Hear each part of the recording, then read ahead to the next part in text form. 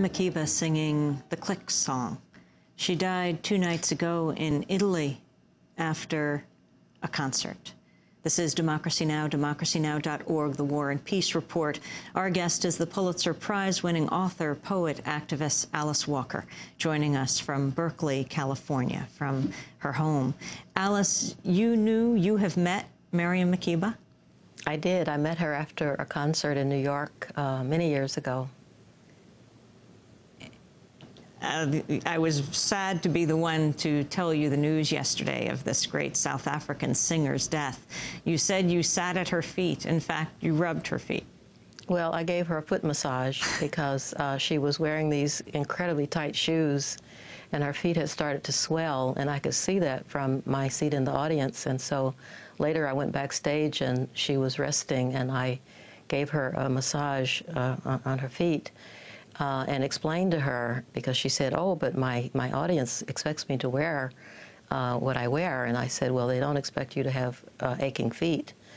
Um, and I was I'm so happy that I was able to do that. That's one of my favorite things to do uh, with people who who stand on their feet a lot uh, and actually do it for all of us as she did. And I, I actually feel very joyful uh, that she, not so much that she has left us, but that she fulfilled, she was a relay runner, and she fulfilled her part of the race so brilliantly uh, and sang uh, so much of, um, you know, what we needed to hear in order to get us to this point of electing uh, Barack Obama. Mm. Well, she did live to see that day. She li did live to see the election of Barack Obama. Mm -hmm. um, Alice Walker, I wanted to go back in time in your life uh, to talk about the significance of this movement and where we're headed. Uh, you went to Spelman College in Atlanta, um, and you spent time in Mississippi. You lived in Mississippi and engaged in an illegal act. You married a white man in a time when the miscegenation laws around this country uh, were in effect. Talk about why you went south, then north, then back south again. Uh, well, I was planning to actually just make a beeline for the north, as many black people did uh, who, who wanted opportunity. Uh, and then I got involved with uh, the movement when I was at Spelman and actually met Martin Luther King Jr. Uh, and I was at the 1963 March on Washington, uh, me and this very sweet man I was seeing. We were both very young. And one of the things, I was sitting uh, in a tree actually because I, it was, was so packed. And one of the things that Martin Luther King Jr. said that day was uh, rather than running away to the north, we should all go back home to the south. Uh, and it, it, was, it seemed the most revolutionary thing I'd ever heard, that you should just go home and struggle from there and, and fight the battles from there. And so uh, I'm from Georgia, uh, but I knew that my parents would be very uh, afraid for me if I tried to. I started some things there. I registered voters in a place called Liberty County, Georgia. But then I decided to go uh, straight to Mississippi and to work in the movement there because they were um, putting people off the plantations who voted, who tried to vote, uh, and they were beating people like Mrs. Hamer, Fannie Lou Hamer. And these people were my people. They were just clearly my people. They, they were, you know, my parents were also uh, living on a plantation, what was left of a plantation. They were sharecroppers, which was, you know, the new name for slaves. Uh, so it was, it was wonderful uh, to be able to go there and to put my education to use um, because it, it, had been a hard struggle for my parents to educate uh, eight children. Um, so that's how I got to Mississippi, and we were there for seven years. We, we, we were the only um, legally married, well, in the northern states, we were legally married uh, interracially, uh, but then in Mississippi, of course, we were illegal. And we waited to see what would happen uh, it, because we challenged the law. And what happened? Uh, well, we managed to encourage many other people to, in effect, break the law and, and marry each other if they were in love and wanted to. And also because there was a case in 1967, a few months after we married, called uh, Loving versus the state of Virginia.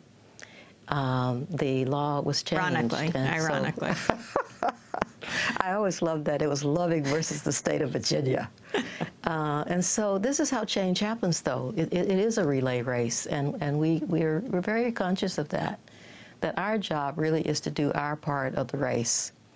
Uh, and then we pass it on, and then someone picks it up, and, and it keeps going. And that is how it is. And we can do this as, as a planet with the consciousness that we may not get it to, you know, today, but there's always a tomorrow. Uh, and Barack Obama's election is one of those tomorrows that was so longed for and so sweated for and so believed in and so hoped for. And it's an incredibly moving affirmation uh, of where we have been and who we have been and how we have, we have kept so much of what we believe. Alice Walker, on election night, one of the people we spoke to uh, was Dr. Vincent Harding. He was a close friend and colleague of the Reverend Dr. Martin Luther King. Uh, in fact, he wrote Dr. King's major anti-war speech, Beyond Vietnam, the speech that Dr. King gave a year to the day before he was assassinated. The speech was given at Riverside Church on April 4th, 1967. Dr. Harding talked with us. I was with Juan Gonzalez and Jeremy Scahill about what he saw as his role after Obama won the election. I am much more deeply involved in the hopes for what we can do to help push him into the place that he needs to go. He's taking a good start at this point by winning this magnificent election, but he is not going to be out there as a messiah by himself. We who believe in freedom are going to have to stand around him, stand beneath him, stand in back of him, and do everything that we can to keep reminding him that what we need is to move towards the very thing that he's been talking about, creating a more perfect union, creating a more just and peaceable society creating a more democratic society. So my hopes are very much focused on him, but not on him alone. I see the energy that's been built up over these uh, two years of campaigns, and I see the possibility that we could gather ourselves together and begin to ask in a very powerful way not what should Barack Obama be doing next, but where do we go from here? What is our role as committed, progressive citizens to move to the next stages?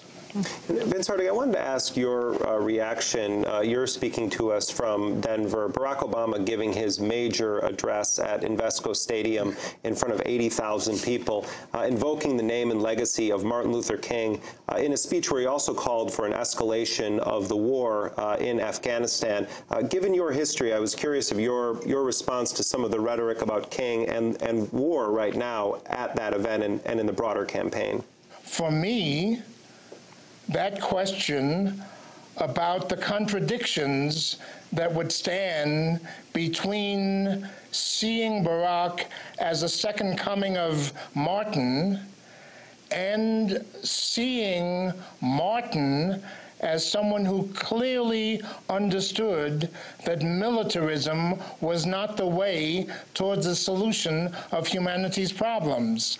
That's why I said that those of us who believe in creating a more perfect union can only do it by standing around him, under him, behind him, pushing him to ask questions about what is the role of the military in a democratic society. Vince Harding, by encouraging him to see the possibility that maybe he would be a better community organizer in chief than commander in chief. Maybe a democracy needs community organizers more than it needs commanders. That was Vincent Harding, um, who worked with Dr. King, uh, wrote the draft of his speech he gave April 4th, 1967. taking on the war in Vietnam. Uh, we are joined live by Alice Walker, Pulitzer Prize winning poet, author, activist in Berkeley, California. Alice, your thoughts uh, as you listen to Vincent Harding, community organizer in chief as opposed to commander in chief? Uh, Vincent is a very old and dear friend, and I, I completely see his point, and I think it's very valid. Uh, I think there is a time, of course, when you need a commander in chief uh, in defense of your yourself uh, and and your country. Um, but I think that it is more important uh, for all of us now to take this incredible energy that we see around the planet and turn it uh, on, just turn a real